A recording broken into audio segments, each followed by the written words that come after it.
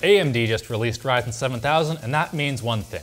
I need sub-zero and for once, we are doing it on the cheap. Turns out you can get a 120 watt thermoelectric cooler on AliExpress for just over $3. So uh, I went ahead and got 20 of them for a grand total of 2,400 watts of cooling.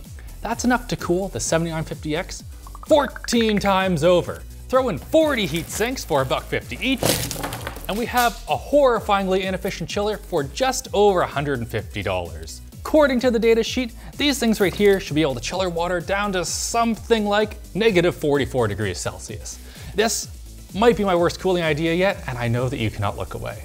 Just like you can't look away from this segue to our sponsor. Zoho Marketing Plus. Manage, execute, and collaborate on your next campaign with a unified marketing platform designed to keep customer and marketing data all on one screen. Try out Zoho Marketing Plus today using the link down below.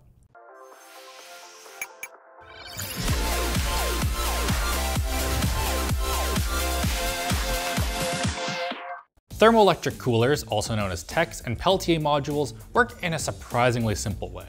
As you know, heat is just how much energy the particles have, and the more you heat them up, the more they start moving around. And this has some very interesting implications for when you heat up a wire. Heat up one end here, this is my beautiful flame.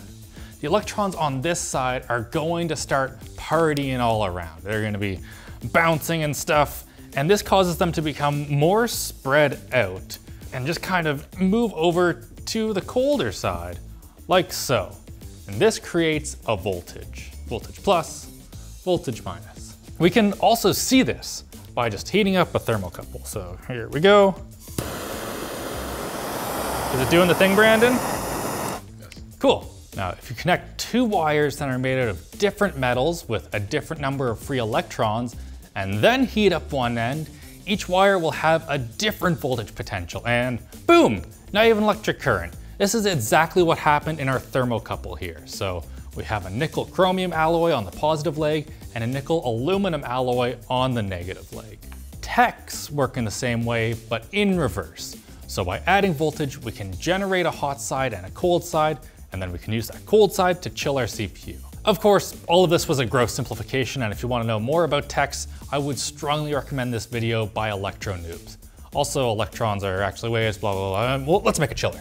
First step, we need to figure out which side of this Peltier gets cold. Uh, we really do not want to be putting 2400 watts worth of heat into our processor.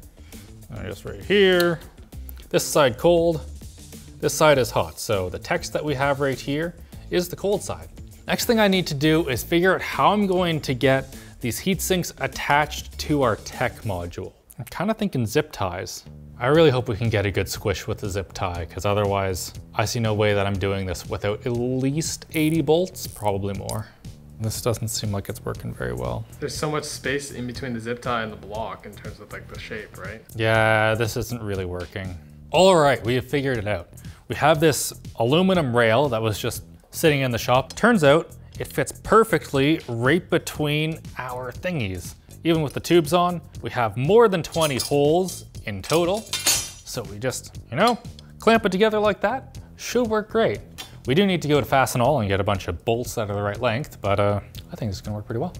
You gonna start the day with LTTstore.com, Brandon? I guess we do. There we go.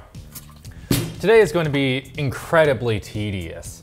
Basically, we have these TECs, need to put them in here like so, and do that 20 more times. In order to make it so that it's not just splayed out on the table, I'm thinking that we're going to go five wide, so that's this wide, and then create an 80-20 extruded aluminum frame so that they can go up vertically, kind of like boop, boop, boop, boop.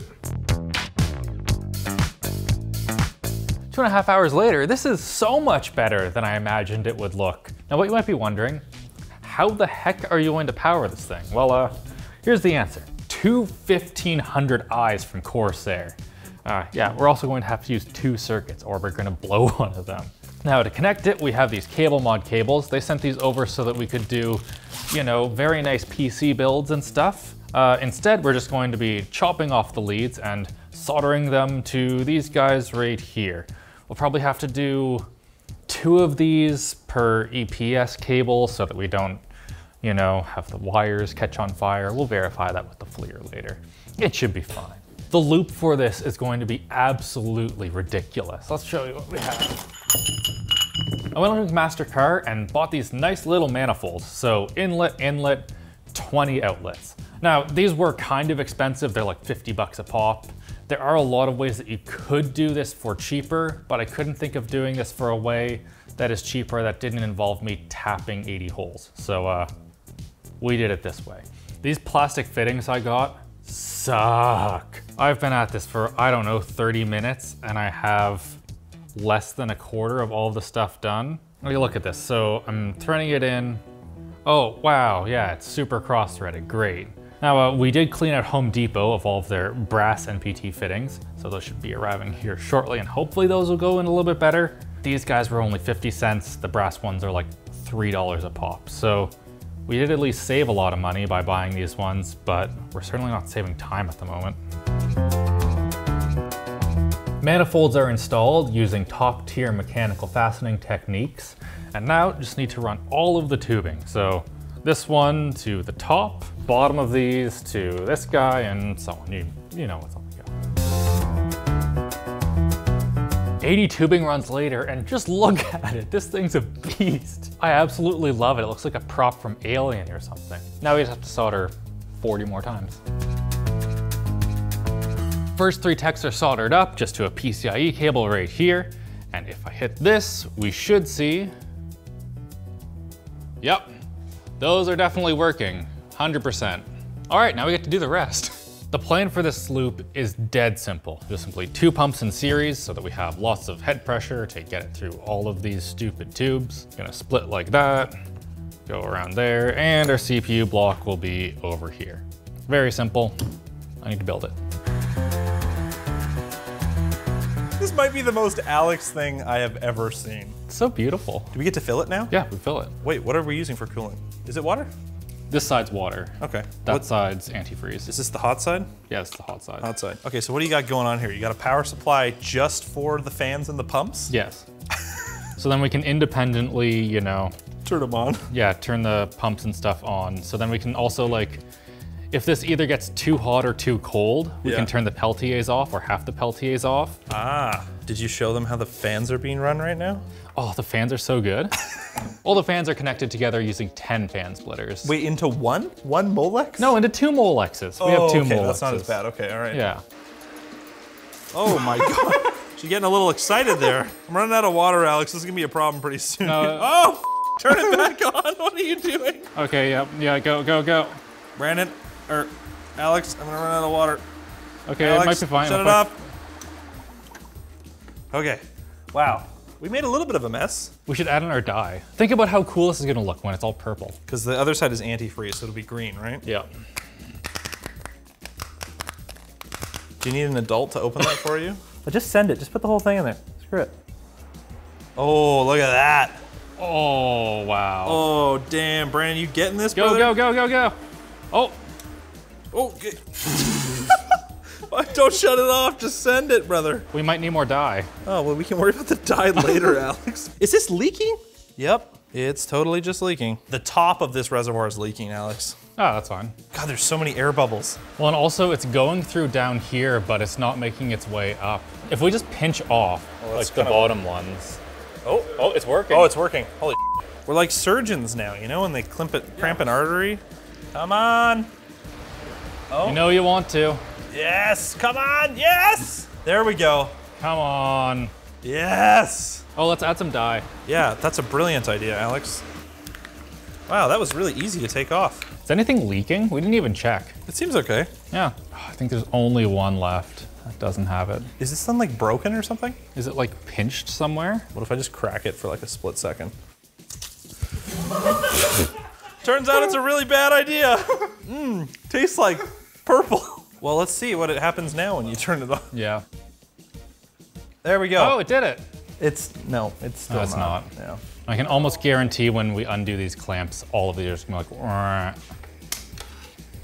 yeah. Yep. It seems like we do not have enough head pressure. So what we need to do is add another pump in series while it's filled. I mean, the lines are like sort of pinched off. I also unplugged the power supply in case we make a big watery mess. yeah, that's pretty smart. While we're in here, we should also, this fitting started leaking and the cap of this is leaking because there's no gasket in here for some reason. I do want to replace this one. Yeah, we should do that. Let's get this pump on first. Why did you put such a long extension? I don't know. Okay, uh, that seems like it's working. All right, send Oh, it. Yep. Oh, that's uh, leaking quite a bit. There's an internal gasket on these D5 pumps that uh, maybe it's just missing on this one. Does this gasket go on the other side? I think it goes on this ridge. Great. Oh, inside. Yeah, you mean. inside right there. That would make more sense. Why was this taken apart and assembled improperly? Well, it might still leak, so hold your tongue, okay? This one's ripping now. Oh, baby. Oh, we did it. Maybe. Oh, mm, might have spoken. too Maybe soon. this is just a bad design. How do they do this in the in the real world? Like big big pumps? They use one reservoir. One reservoir. Yeah, this is not doing anything. Cool, let's get rid of it. We should clamp this one too. Oh, I'm sure this other pump is loving that. It's just being submerged. yeah, I'm sure it's fine. I like how we haven't even thought about overclocking anything yet. I now have all the standalone D5s in the office. Cool, we're just gonna stick this one like right on top of this thing. Yep. Just like that? Yep. Beautiful. So I guess, are we good to... Send it. Holy Alex. Sort of. Is it the pressure drop from all these rads? I think it's just all of the air. I think once we get the air out, it'll be fine, but we can't like burp it up here like we'd want, as we found out. Flip it upside down. Flip it upside, that's not a bad idea. How about we just like tilt it? Yeah, Oh, there we go. that's working. I'm amazed this hasn't leaked. I'm very glad we did this with just the dye and not the antifreeze.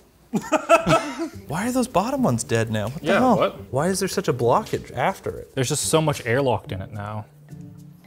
Oh, it's really, this is one of the crappy tubes too. uh, get on, get on, get on. okay, I did it. All right. Is she good? I think so. That made a weird noise. it's still not flowing. All right, I give up on that TEC. Yeah, Let's cut the wires and call it a day. So I guess, do we just have a whole other power supply for this side's pumps? Oh my god. Yeah, I guess. See, this one is loose too. Who the hell is like going around loosening the D5 pumps? We have the opportunity now to just add another one, should we? F- it. Ooh, that's pretty. Yeah, that's a nice one. Good thing we're gonna ruin it. Let me put a sponge in there first too. Yeah, that's smart. wow, there's like no bubbles anymore. What the f is this abomination? this is a work of art. It's 2,400 watts of cooling. What are you cooling with this? It's also 2,500 watts of heating. What are you heating with this? Zen 4. Okay. It's like kind of ripping. Yeah. It's getting there. The sponge. It's just vertical now. Oh god, that is thick. That's Oh, like yeah. molasses, brother. Do you want to hit the pump and I'm just gonna send it the with the Prestone? Power cord. Is this even gonna work? We should have pre-mixed this. Is it even pumping it?